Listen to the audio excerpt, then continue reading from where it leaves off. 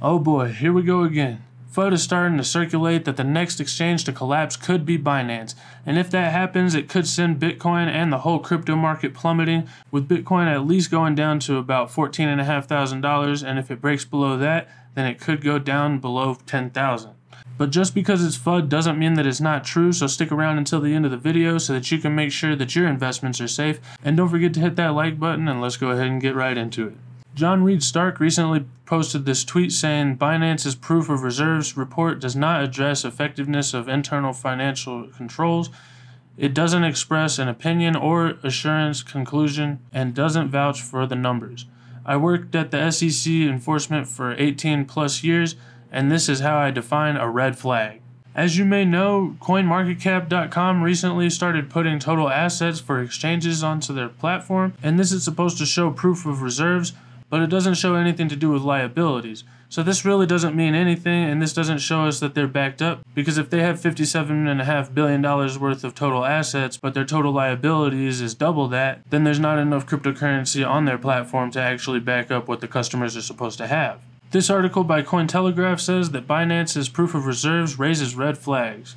It says Binance's efforts to improve transparency of its reserves also exposed red flags in the cryptocurrency exchange's finances. As noted by former Financial Accounting Standards Board or FASB member and investment manager, the report released by the audit firm Mazars did not bring investors confidence about the exchange's finances as it lacks information related to the quality of internal controls and how Binance's systems liquidate assets to cover margin loans. Another red flag raised by the Wall Street Journal's sources regards the lack of information about Binance's corporate structure.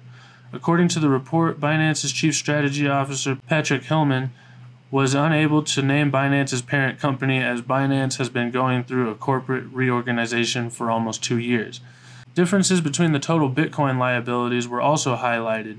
The exchange's proof of reserves shows that Binance was 97% collateralized, excluding assets lended to users through loans or margin accounts, indicating that the 1 to 1 ratio of reserves to customer assets was not achieved. And that's just for Bitcoin. They haven't released a full audit, and for what we've seen so far from their small audit of their Bitcoin holdings, they don't even have enough Bitcoin to back up all of the customers' supposed Bitcoin on their exchange. So basically, they're about 3% short on the supposed Bitcoin that customers are supposed to have on the exchange. And that's not to mention all of the other cryptocurrencies that they're probably short on as well, allegedly. And the people in charge of the company don't even know anything about the corporate structure and can't even tell who the parent company is for Binance. Additionally, from what I can tell, BNB or Binance's uh, native token is only used really for discounts on the exchange. So if people lose faith in Binance and they start to sell BNB, then that could cause a further decrease in confidence of the customers, causing people to withdraw their funds from Binance and sell BNB and basically making it fall into a death spiral. BNB is just a coin that's printed just like a fiat currency and used to prop up the value of Binance, just like FTT was for FTX. And if it comes out that Binance really isn't collateralized for most of the cryptocurrencies other than Bitcoin that they're supposed to have on their books, then we could be seeing a huge loss of confidence and a real plummet in the value of Binance and BNB, crashing the whole market and sending us down for a significant lower low, making a lot of people flee from the market and causing a real capitulation that would probably see investors stay away from the crypto market for a number of years. With Binance being the number one cryptocurrency exchange, this would be a major hit to the confidence in the whole cryptocurrency industry, and I think we would be seeing increased regulatory scrutiny that would really just hamper the adoption of cryptocurrency because if they really cared about protecting customers, then SBF and Do Kwon would probably already be in prison. And with increased regulation and litigation, we could be seeing the pressure mount up on these cryptocurrency exchanges, which also could lead some of them to collapse if they don't comply with all these regulations and laws. As this article by Coindesk says, U.S. prosecutors are looking to charge Binance and executives on possible money laundering violations. The Department of Justice has also discussed a possible plea deal with Binance's lawyers, the report added. So even if it does turn out that Binance is totally collateralized and they're not messing with anybody's money, if they do get these prosecutors on their back, then they could end up having some difficulties and they could lose confidence from their customers anyway.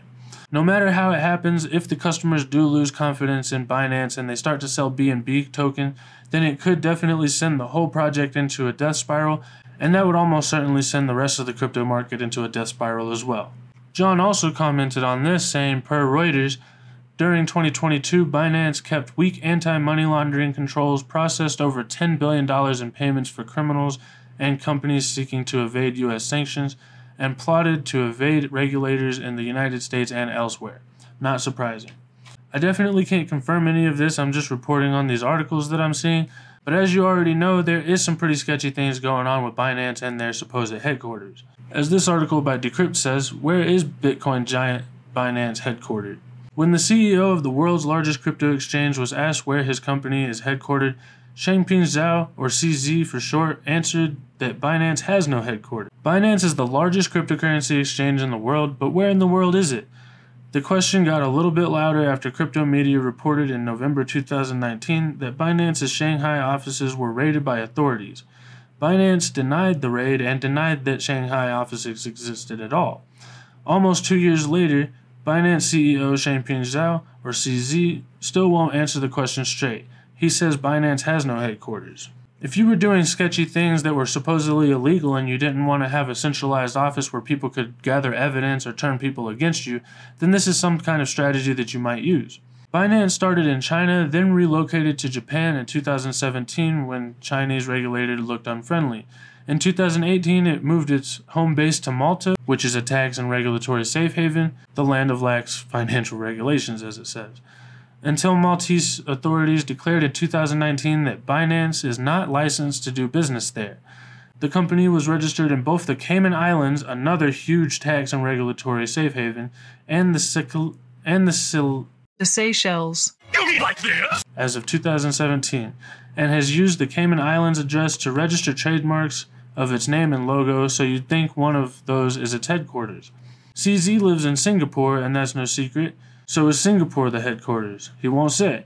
It seems pretty hard to nail down where the actual decisions are being taken place, and everywhere it seems that they have an office is generally a tax haven or some kind of regulatory safe haven. So, again, if they are trying to escape regulations or do anything illegal or definitely possibly fraudulent, allegedly, then this is one of the definite strategies that would be most obvious to take. Also, Binance is pretty well known for pausing withdrawals over and over again throughout history on their exchange. And no one really knows why they do that, so if they continue to pause withdrawals, it might cause more panic, and then eventually I think they're going to collapse as people start to lose confidence. But like I said, I really can't prove any of this, I'm just a guy that's reporting on the news.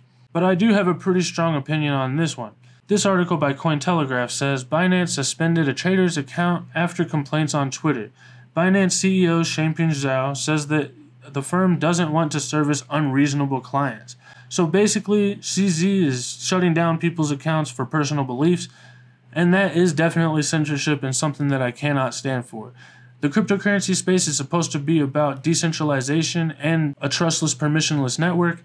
So I think that it's really important that they don't continue to kick traders off of their accounts for basically saying something that they don't agree with on Twitter. Even though Binance is apparently not based with their headquarters in the US, I think that we still should pull for free speech here. I mean, I think that cryptocurrency represents an opportunity to, for people to take back their freedoms. But if we do give the power all to these centralized exchanges and these people that don't care about free speech, then we're going to end up with a similar situation to what we've been dealing with for the past couple hundred years with the fiat monetary system. So, for all of these reasons, I'm not using Binance. I never really have, but I don't keep my money on centralized exchanges anyway because cold storage is the way to go. And Full self custody is definitely the safest way, especially in the bear market, to keep your investments safe from big people in power, like people that run exchanges, misappropriating your funds and, and just taking advantage of you, using greed to devastate your funds and get rich. Then they just disappear and sit on some beach somewhere, not even paying taxes, while you struggle and just wish that somebody would arrest them, like Sam Bankman Fried and Do Kwon, who haven't been arrested because they obviously paid off the government. Anyway, my rant is over, and as you can tell, I just don't trust anybody. Speaking of not trusting people, Crypto.com CEO has a history of red flags, including bankruptcy and quick exit exits. So this is another reason why I would say just not to move your funds off of Binance and onto a different exchange because you never know which exchange is going to collapse and which ones are actually having shady business practices. It says before founding crypto.com, Chris Marszalek, this guy right here, was involved in multiple ventures that ended in collapse, including one where suppliers claimed that they were unable to access their earnings. This is pretty much a similar situation to all of the people that run all of these cryptocurrency exchanges. For some reason, a lot of their history or the people who they hire to do the job's history has to do with making scams and causing people to not be able to pull out their earnings, like Sam Bankman Fried hiring that poker fixer guy. Over a decade ago, Marszalek and his business partner were paid millions of dollars by their manufacturing company months before it entered bankruptcy.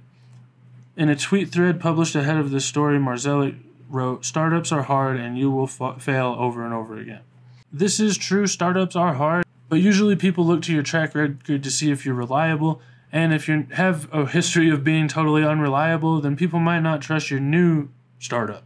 If people continue to look at these guys and see that their startups have failed over and over throughout the history of their career, then they might come to the conclusion that they're unreliable and then this startup might fail as well. I'm not saying that any of these projects are going to fail, but what I'm saying is that I don't trust anybody, and I definitely don't trust any centralized exchange to keep my cryptocurrency safe.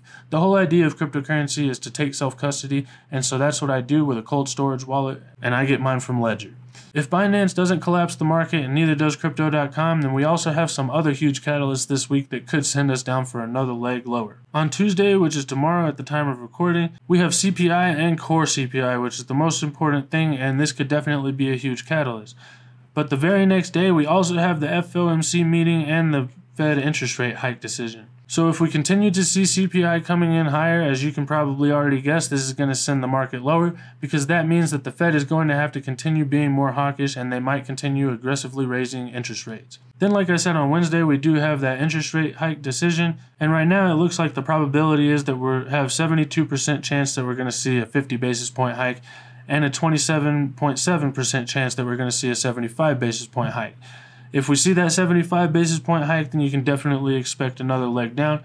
And if we get this 50 basis point hike, then I think that's probably already priced into the market. And then we're going to be looking forward to what the Fed has to say 30 minutes after the interest rate hike decision. If the Fed comes out in their press conference and Jerome Powell says that they're going to continue raising rates and they might actually have to raise the target interest rate hike. Or if he says anything about inflation not coming down, then we definitely could see another leg lower. And unless he comes out and says that they're basically going to pause interest rate hikes or start cutting interest rates, then I think everything else is pretty much priced into the market and we might end up just continuing to go sideways for a while. There might be some short term relief with a little bit of a price increase, but I think that until we start to see evidence that we are seeing a soft landing and there's not going to be a dip in earnings for the stock market, then I think there's going to continue being uncertainty.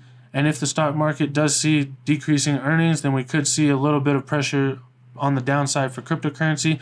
But like I've said in the past, I think eventually people are going to start looking for somewhere that they can put their investments that's not going to be getting damaged by earnings. And cryptocurrency doesn't have earnings, so hopefully crypto will start getting money put into it as the rest of the economy continues to suffer and people look for alternative investment opportunities. Let me know in the comments, do you think that this is all just FUD and nothing to worry about with Binance, or do you think that they're actually misappropriating people's funds just like FTX and all of these other cryptocurrency exchanges have been doing, and that they're going to be the next one to collapse and send Bitcoin and the whole cryptocurrency plummeting for another leg lower?